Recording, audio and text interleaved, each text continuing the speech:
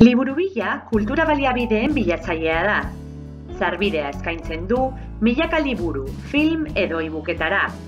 Baina liburubilak askoz ere aukera gehiago eskaintzen ditu.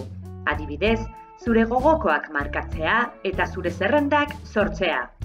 Lehenik eta behin, identifika zaitez zure datuak sartuz. Erabiltzailea eta pasahitza sartu behar dituzu Euskadiko irakurketa publikoko sarerako erabiltzen dituzunak. Pasaitzak ahaztu bazaizkizu, galdetu zure liburutegian. Idatzi zure erabiltzailea, eta behean zure pasaitza. Egin klik identifikatu botoian. Behin sartuta sakatu nire biblioteka fitxa. Hemen zure biblioteka virtuala sor dezakezu, bururatzen zaizkizu gogokoen zerrenda guztiekin. Eskuinean nire zerrendak atala aurkituko duzu eta behean zerrenda sortu.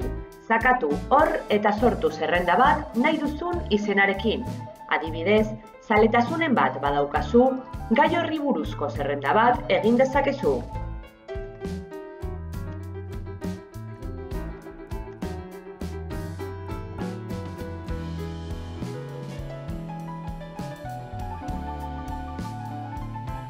Edo sortu zerrendak, gustatu zaizkizun liburuekin edo irakurtzeke dauzkasunekin, ez ere ahazteko.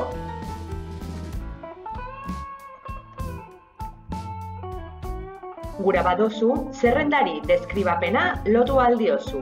Egin klik gorde botoian. Eskuinean, zure zerrenda guztiak agertuko dira. Zerrendak elikatzea oso erraza da. Idatzi bilatzailean nahi duzun liburua, film edo errekurtsoa.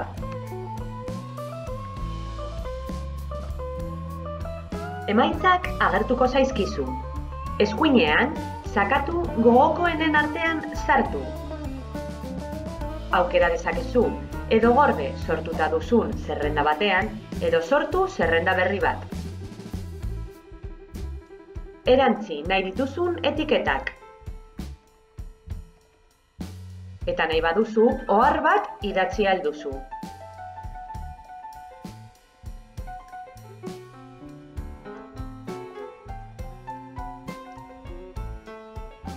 Zakatu gorde eta badugu liburua zailkatuta gure biblioteka virtualean.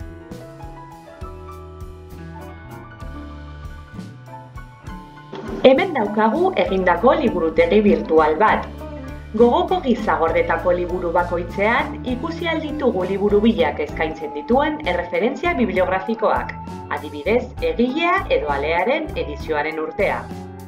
Etiketak, oharrak, eta zerrenda ere ikusi alditugu.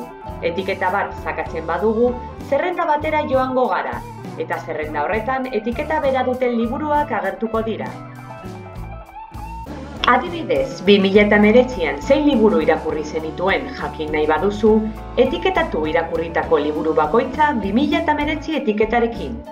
Klik batean, dena izango duzu zailkatuta liburu bilan.